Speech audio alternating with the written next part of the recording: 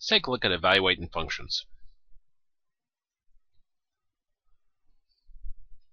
Take a look at our first problem here. We got f of x is equal to 8x minus 3 and we want to find f of negative 4. Now the steps are always the same for uh, evaluating a function. We go through and replace our variable with parentheses. So I'll put parentheses here where the x was. Everything else remains the same. The 8 stays the same, the minus 3, we just replace the x with a set of parentheses. Now whatever is inside the parentheses right here is automatically what you're going to put in right over here. So we'll put a negative 4 in there. Well, 8 times negative 4 gives us negative 32 minus 3. Negative 32 and negative 3 gives us negative 35. And that's our answer.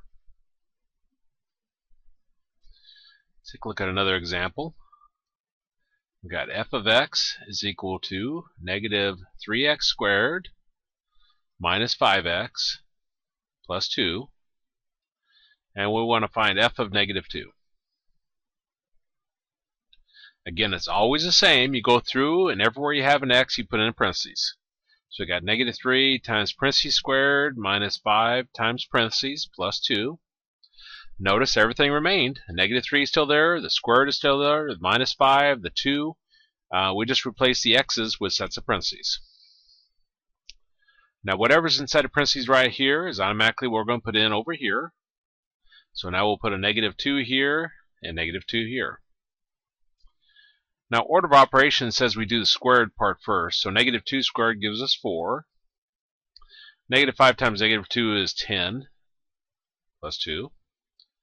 Negative 3 times 4 is negative 12, plus 10 plus 2 is 12. Negative 12 plus 12 gives us 0.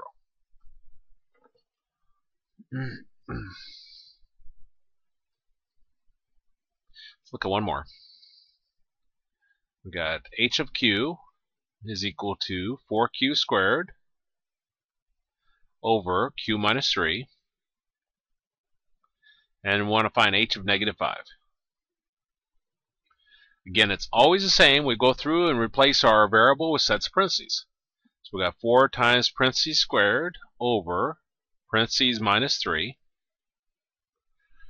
Now whatever is inside the parentheses right here is automatically what we'll put in over here. So I'll put negative 5 here, and I'll put negative 5 here.